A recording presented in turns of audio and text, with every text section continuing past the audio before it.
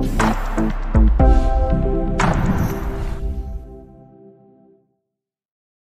everyone, how are you doing today? I'm back with another video and in today's video we have a Lenovo IdeaPad 330S model here and in this video what I'm gonna do I'm gonna show you guys step by step how to open it up and how you can repaste clean up and clean up the fan the heatsink everything like that. So you do your own maintenance your own service instead of giving it to somebody to do it for you. And this maintenance you should be doing it every year every two years i would recommend it depending the usage of the laptop the environment the dust everything. Comes there's many factors but i always suggest every year or year and a half maximum every two years you should open it up clean it at least or repaste if your paste is really dried up all right before we get started, you want to power off the laptop, make sure it's not on a standby or is not on hibernate. And you want to flip it upside down. You want to grab yourself a screwdriver set. I use the iFixit toolset kit. They come with a pro version, which they give you an extra tools, which I have somewhere over there. And from this tool set, we're going to be using Phillips number zero. And also you will need an opening tool you can use the opening tool that they come in the pro version, or you can simply use a metallic guitar pick, which are really tough and smooth edges, which prevents it from scratching the case. Alright, once we have the laptop upside down, by the way, this is a model 330S-15 IKB. This applies for any 330S models. So yours might have a little video chip or doesn't, but I'm to explain that in a bit. Alright, go ahead and remove all the screws at the bottom cover. These are screws are M2 screws. They are all the same size and height, so don't worry about mismatching them. Also, I realize that only a few of my viewers always subscribe to my channel or clicking that like button. It will be a really nice and great help if you guys find my content helpful and if you want to support me just click that like button or subscribe i really appreciate it Alright, once you remove the bottom screws, what you want to do, you want to open up the laptop in 45 degree angle. So you want to grab your guitar pick and you want to stick it between the bottom and the top cover about two or three millimeters inward. And what you want to do, you just want to twist it and do this walk around. I mean, walk around, just drag it around and go all the way to the corners, to the side, go all the way to the back corner, to the left and right side. Once you did the sides and the front, go to the back. This one is already. Oh, look, it just came. If it didn't come out, just go. Let me see. If it didn't come out, grab it here. Then just twist, twist, twist, and it should come out pretty easy. This is the bottom cover. If you want to go ahead, go ahead and use an old toothbrush and clean the mesh, dust mesh right here. And down here, we're gonna see the battery, the main hard drive, which I upgraded to a solid state drive, and the fan and the heatsink that goes under this shielding. Before we do anything, we wanna always remove the battery when you wanna do your own service. So grab these cables and pull it backward so you disconnect the jack right there. Okay. Now, first thing first, we want to remove this shield by removing three screws. One, two, three screws. These are M2 screws, the same size as the bottom cover. So you can just mix it with them. And once you remove the screws right there, you can just grab the shield right here. There's a tiny clip that holds the shield, so just lift up towards the ceiling and it should come out pretty easy. Now, this model doesn't provide you uh, with a GPU or memory RAMs on the VRAMs yours might have. So what's yours gonna look like? Extra tubing going all the way here. Another heat block like this one over here with a three screws extras right over here.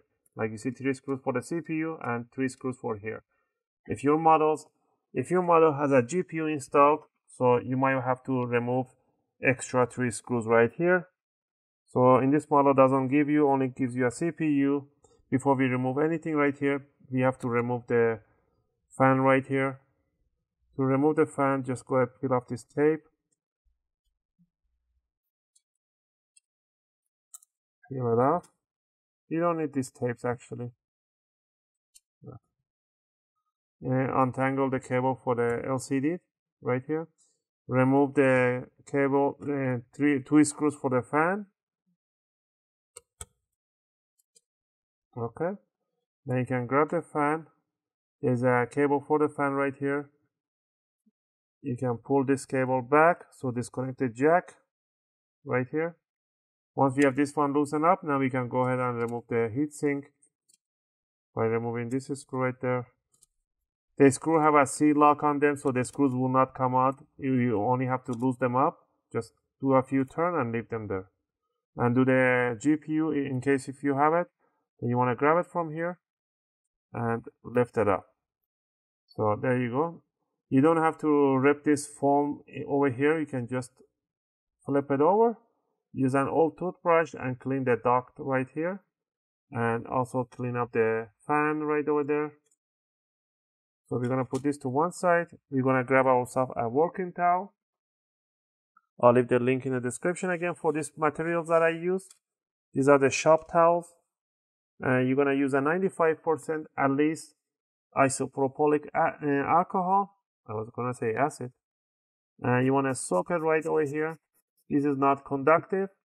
And what you want to do, you want to remove the excess of the thermal paste over the CPU.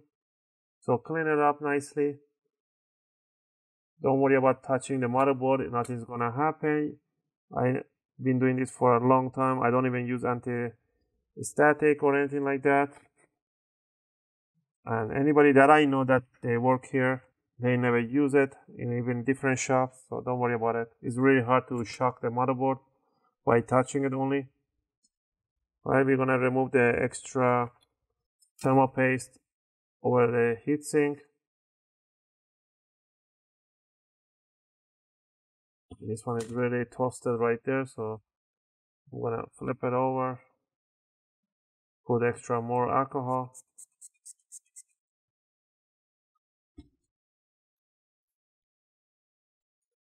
the alcohol really blends it and makes it easy for you to clean it. Alright, now there's a, a tiny trick I'm to show you guys. Grab any copper cleaner solution with a paste or liquid format or any silver cleaner. And, and what you want to do, you want to clean it with that one right over here and it's going to remove the smell or it's going to remove the tiny layer that it has over the copper so you get pure copper exposed. So what you want to do, you want to grab yourself a working towel, one corner, so just peel it off one corner. And you just want to do it like that. You want to grab your solution. Yours could be paste, mine is in a liquid format. You can get this one on any jewelry, so look at this one. Once I go right here, look like the difference. I'm exposing the pure copper right there. So clean up nicely. Look, I'm gonna clean right over here. Look at the difference. You see, that's why I'm, always suggest or recommend that use a copper cleaning solution or silver cleaning solution. They're really, really handy. And the thermal conduct is gonna be really good. So grab your thermal paste your favorite thermal paste. I'm gonna be using an Arctic MX4. You wanna grab tiny, do a last one more pass on the CPU. If I put my fingerprint on it. One tiny line on a big die. Uh, tiny blob right on the middle one. Don't worry if you put too much. With the Arctic MX4, it's just gonna spread all around and the excess is gonna be over the PCB on the CPU and it's not gonna do any damage. Alright, so bring the, this is very important. Also clean up your GPU if you have and clean the other side of the GPU on the heatsink. You want to bring it evenly down, align it straight and do not, do not, I'll always say put your finger in the middle, do not lift it up the heatsink again, otherwise you're going to create air bubbles. Cross stitch them, so do this one, that one, always cross stitch these ones. They actually give you a number one, two, three, but if you pay attention this is funny in here it says what it says number four five and six that means this was one two three four five six so as long as you cross stitch these ones. So what you want to do next? First always always plug in the fan. That's always everybody forgets to plug it in so just bring it from the one side squeeze it right in there and put the two screws for the fan. You do not need to put the tape and just run the cable for the LCD right over here. And the last thing would be to grab the power jack uh, before we put the power jack let's put the shield right here. So grab the shield. Align it over these clips right here. There's a one two three four five clips right there. So it has to grab it from these corners. So align it. I'm aligning this corner. Make sure you have to pinch it. And align this one over here. And then let go the rest. And just push it down. Push down that one this one this one over here. So you see tiny arrows here these arrows indicate that there are clips right there. And we're gonna put the three screws for the this shield. One over there. One over here. Also and one more thing you guys should know is really important before you guys panic. I'm gonna give you a heads up. Always when you remove the main battery from the motherboard and you plug it in just like this and when you want to boot it up your initial boot is going to take about 5 to 10 seconds. The screen is just going to flicker it's going to go black and white or it just might not do anything just wait for 5 to 10 seconds and then it's going to boot up.